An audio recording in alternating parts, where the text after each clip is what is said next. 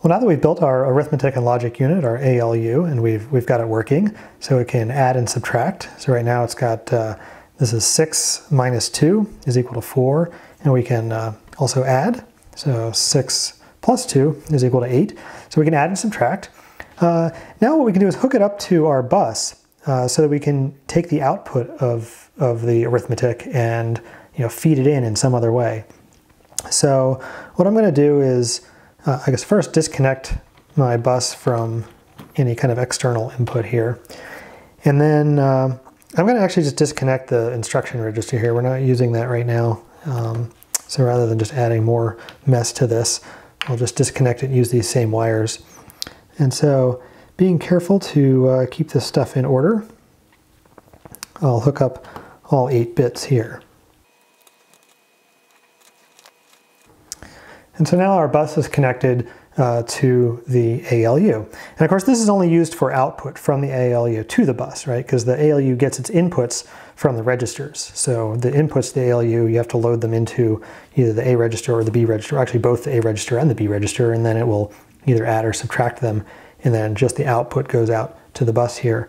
So we can use this, um, this uh, ALU output, or EO, signal if we take that low, then whatever's in the ALU, in this case it's uh, um, uh, an 8, goes out on the bus. Now, what we can do then is read from the bus into the A register. And what's kind of interesting here, I'm going to stop the clock. And I'm going to, uh, so with the clock not running, if I enable the A register to read from the bus, nothing happens, right? Because it's not until the clock goes, goes high that we'll read from the bus. But something interesting is going to happen here, which is which is really important to to understand the the the nuance here because remember the A register or any of these registers is going to read on the rising edge of the clock. And that's really important here because on the rising edge of the clock, the value on the bus is an 8. So it's going to read that 8 on the rising edge of the bus into the A register.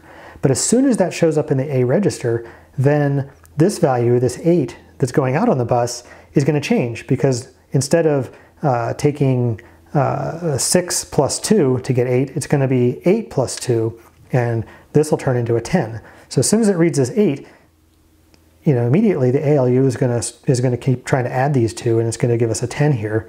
And the ALU is outputting to the bus, so there's going to be a 10 on the bus. So then you would think that the A register is going to read it in again.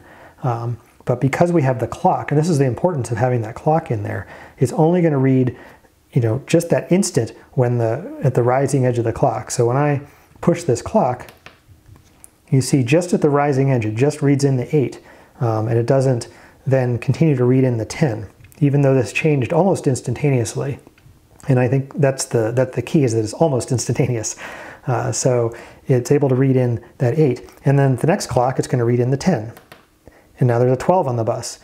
And next clock, it reads in the 12. The next clock, uh, and now we have a 14 on the bus. The next clock, it'll read in that 14. And now we have a 16 on the bus. And so you can see each time the clock goes, it's adding 2. And that makes sense because we have a 2 in, uh, down here in the B register. And so every time we put a new value into the A register, we're adding 2 to it and putting that into the ALU. And then that's being output on the bus. And so then the next clock, we bring that into the A register. So if we just let the clock run, you see at every clock pulse, the A register increments by 2, or we add 2 to it, because we have a 2 down here in the B register. And so you can see it's just counting. And we can speed the clock up if we want to go faster.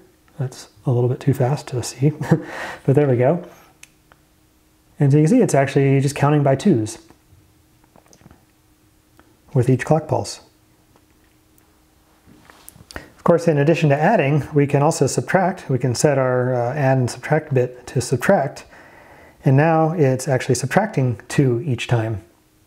0, and then it wraps around, and it subtracts 2 each time.